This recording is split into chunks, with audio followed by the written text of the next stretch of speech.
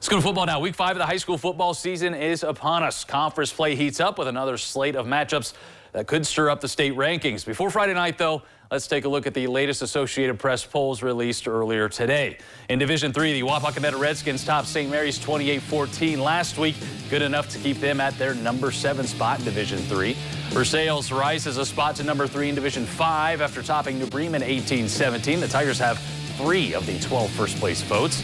An interesting development in Division 6, though. Coldwater, who beat previously 8th-ranked Anna, drops from first to second behind Kirtland. Five first-place votes to Kirtland's eight. Bluffton moves up a spot to number five, and they sit at 4-0. And finally in D7, Marion Local remains the unanimous number one. The Flyers face number five New Bremen and Maria Stein on Friday. Columbus Grove and Minster are tied for the number two spot. Minster hosts Coldwater this week in one of our other bigger matchups. Highlights the scores, of course, on Football Friday night.